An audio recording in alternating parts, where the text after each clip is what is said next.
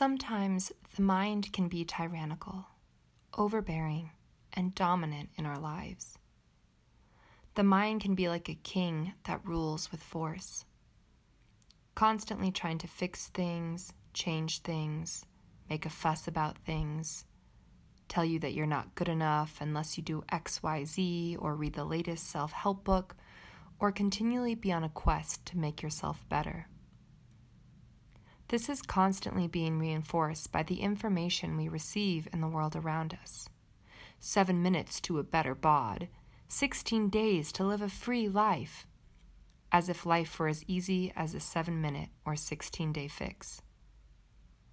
If the mind is the king, then the body is the queen.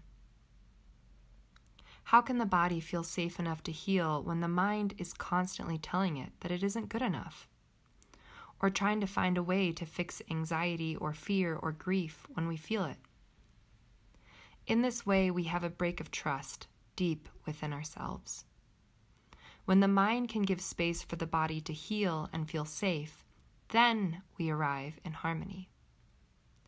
Close your eyes or keep them open. Breathe in as full as you can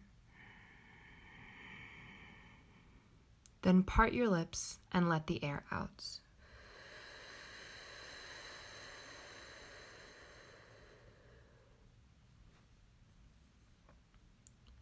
Do that two more times. Nice and slow.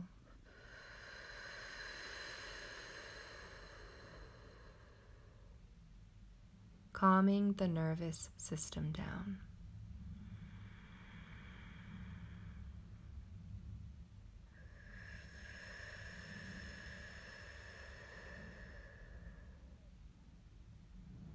Then take a moment to tell your body that there is space and time here to relax.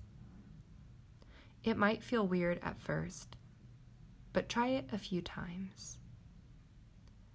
Allow your body to settle into the stillness that you have cultivated.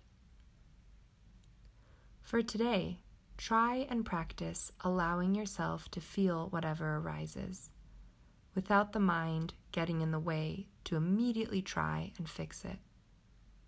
Remember, our body is an insanely advanced machine that has thousands of processes happening without the need for the mind. It knows how to process your emotions as well.